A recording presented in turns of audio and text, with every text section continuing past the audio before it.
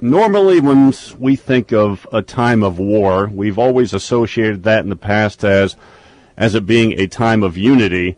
And with the war on terrorism, it seems like some have taken that to be a time for debate and illogical rhetoric. I think would be a good choice of words. I think it's a great choice of words. Let me tell you something, Chris. You know, look at right now. The Democrats are positioning, as I look through the morning headlines, and Daschle is a CNS article today and Nancy Pelosi was quoted in some articles yesterday. Um, the Democrats don't even want to vote on a resolution. The president is asking for the war on terror to go to the next step and the removal of Saddam Hussein, and all the president wants is an up or down vote, and he'd like it sooner rather than later, and they want to go on Christmas hiatus before they, they even give the president that. Um, one of the things that emerged, and, and my book's not all about 9/11. It's it you know I I have a chapter on tax issues, the political wars, the media wars, environmental issues. The, the number one issue in the country I view is education. But the first five uh, chapters I really devote to something that became very uh, ingrained in my consciousness right after 9/11. That the traditional Democratic Party, uh, FDR, uh, Truman, JFK, all of them, these are Democrats, understood the nature of evil and the threat that it posed to liberty and freedom for all of us. And they went out and they did everything they could do to preserve, protect, and defend. And they stood up to that challenge in their time. And we've all benefited because of their understanding and their wisdom and their insight. But a pattern emerges after the late 1960s and 70s.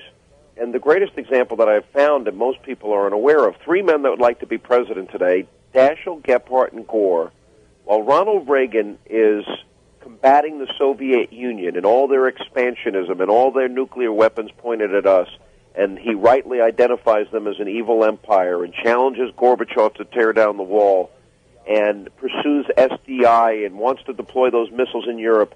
Those three men, Daschle, Gephardt, and Gore, are voting for a nuclear freeze. In the 1990s, the Democrats are proposing to abolish the CIA after they can't accomplish that, they render the agency impotent. And the pattern is is that the modern day left wing Democrat that wants to be president doesn't understand the nature of, of the threat of evil. In '91, when we had the Persian Gulf conflict, you have this maniacal madman who's used chemical weapons against his own people, uh, annex an entire country, threaten the entire the economy of the entire world by potentially taking over 60% of the world's oil reserves. And 179 Democrats in the House and 82% of Senate Democrats didn't understand the nature of that threat. And I'm saying that their policies are not only wrong, but they're reckless, they're irresponsible, they're dangerous, they make us more vulnerable, they make us more susceptible to future attacks. And they, when I say win the war of liberty over liberalism, I'm saying that those people that have not traditionally gotten it and don't get it today don't deserve to be in power.